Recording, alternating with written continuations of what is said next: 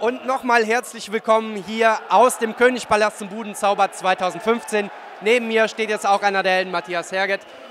Budenzauber 2015, ähnliches Gefühl wie 1985?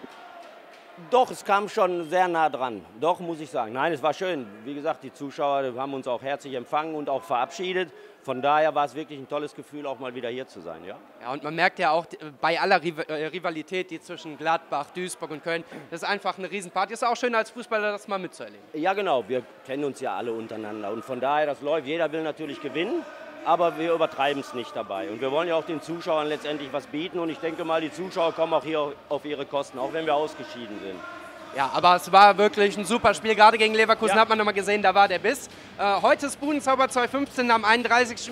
spielt der KFC jetzt äh, gegen den FC Köln, die zweite Mannschaft. Ähm, wie hast du das noch im Blick? Bist du immer dabei und schaust dir das an oder wie ist dein Verhältnis zum KFC heutzutage? Nein, ich bin etwas distanziert, aber das ist normal. Dafür liegt unsere Zeit auch zu lange zurück. Ab und zu schaue ich mir mal ein Spiel an und äh, ja gut, ich denke mal, oder man hofft natürlich, dass der KFC dann auch mal wieder einen Schritt nach oben macht, was aber sehr schwierig ist. Natürlich. Ja, aber wir sind auf einem guten Weg, denke ich. Sind auf einem guten Weg, nur die müssen halt auch Geduld ist angesagt, das ist so. Man kann es nicht übertreiben, man kann auch nichts erzwingen im Fußball, sondern Geduld ist angesagt. Und dann denke ich schon, dass über kurz oder lang, dass wir den KFC auch mal wieder höherklassig sehen. Ja. Und Friedhelm hat es gerade schon angesprochen, 2016 wird es hier wieder einen Budenzauber geben. Sehen wir dich auch bei den Legenden?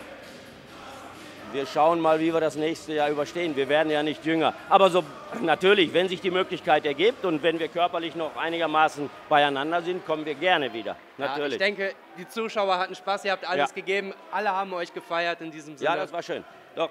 Dann noch einen schönen Abend. Alles klar, Ihnen auch. Ciao.